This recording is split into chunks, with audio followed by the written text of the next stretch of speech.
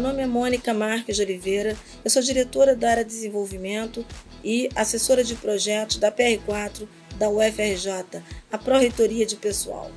É, é com prazer que a PR4 participou da construção do PDI da UFRJ no período 2020 a 2024 e estabeleceu algumas metas, dentre elas garantir o desenvolvimento do programa destinado à qualificação e capacitação dos servidores, promover a gestão integrada com as pessoas, estabelecer a política de saúde e qualidade de vida do trabalhador e estabelecer parcerias para a realização de atividades sociais e culturais.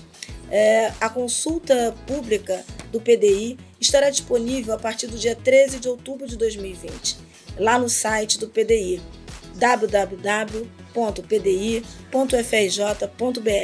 Participem, venham conosco.